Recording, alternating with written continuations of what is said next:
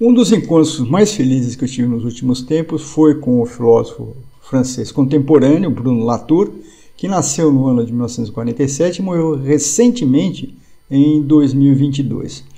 Eu acredito que Latour seja mais conhecido no ambiente acadêmico por sua contribuição à teoria do ator rede, que é uma teoria bastante importante com uma certa difusão nos meios uh, universitários. O que me interessa em Latour uh, não é, no entanto, o aspecto estritamente conceitual de, sua, de suas atividades, mas a contribuição que, com base na sua teoria ou nas suas teorias, ele faz para os grandes dilemas políticos da contemporaneidade.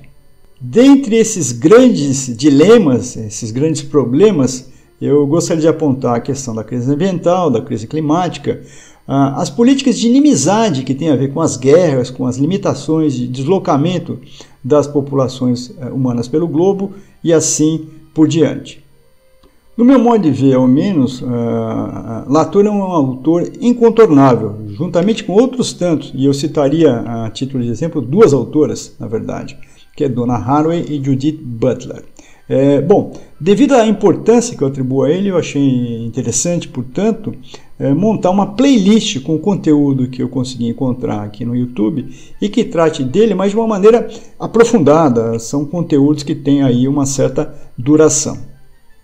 Espero que vocês gostem do material que eu preparei e fico na expectativa de encontrá-los em uma outra oportunidade aqui no canal para falar de filosofia e, em particular, de filosofia contemporânea.